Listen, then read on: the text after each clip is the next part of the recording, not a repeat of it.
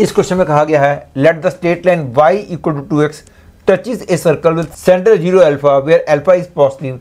and radius R at a point A one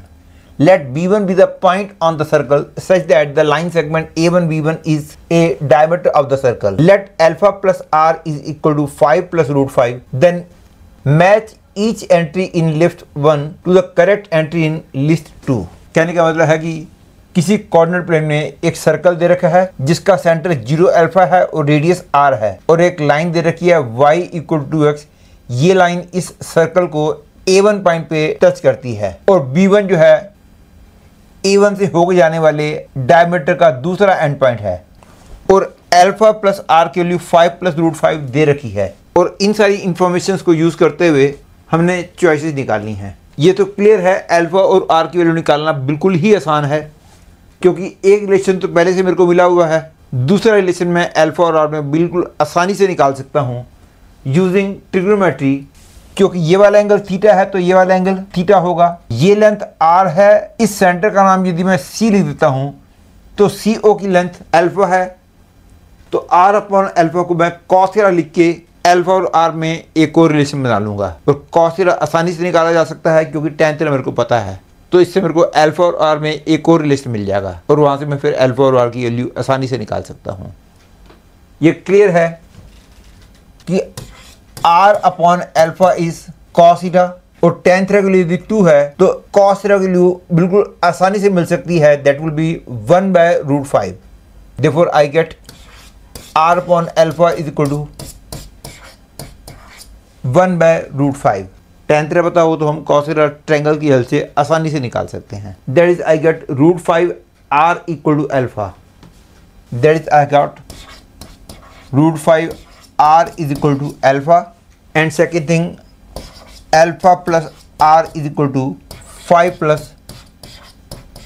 root five तो alpha की ये वाली वैल्यू को मैं यहाँ पुट करता हूँ तो I get R into one plus root five is equal to root 5 into root 5 plus 1 that is the value of r is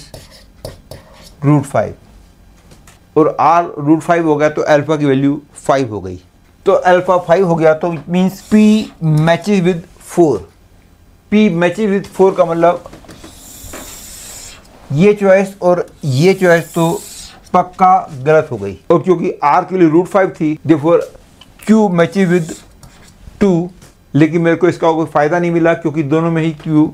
to को मैच कर रहा है। अब मेरे को एस को भी मैच कराने का कोई कोई फ़ायदा नहीं है क्योंकि दोनों में है एस टी को मैच कर रहा है। तो केवल मेरे को आर को मैच कराने से आंसर मिलेगा। तो ये आर किससे मैच कर रहा है? ये तो देखना बिल्कुल ही आसान है। विदाउट डूइंग एनी कैलकुलेशन एकदम से मैं बोल सकता हूँ आर जो है, पक्की बात है फाइव से ही मैच करेगा। क्योंकि ए वन पॉइंट के कोऑर्डिनेट ये दोनों तो हो ही नहीं सकते। क्योंकि A one is sure line first quadrant तो without doing any calculation I can directly say that R matches with five still for more clarity मैं आपको ए वन पॉइंट के कोऑर्डिनेट निकालना सिखा देता हूँ। ये हमको पता है कि कोऑर्डिनेट प्लेन में यदि कोई पॉइंट पी हो, उसका ओरिजिन से डिस्टेंस लैम्डा हो एंगल एल्फा हो तो पहला पॉइंट होता है lambda cos alpha comma lambda sine alpha और इसी बात को यूज़ करते हुए मैं ए वन पॉइंट को आसानी से निकाल सकता हूँ, क्योंकि पहली बात तो ओ ए वन निकालना बिल्कुल ही आसान है। The length O A one is O C square minus C A one square that is O A one square is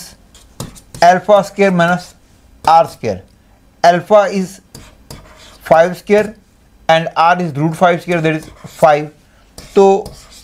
O A one की वैल्यू आ गई under twenty that is two root five.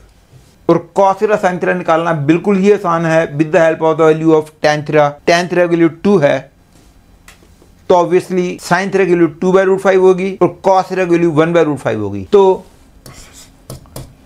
A one will become O A one cos theta that is two root five cos theta is one by root five and Y coordinate will be OA1 sin theta that is 2 root 5 into 2 by root 5 that is equal to 2 comma 4 hence I have got the conclusion that R matches with 5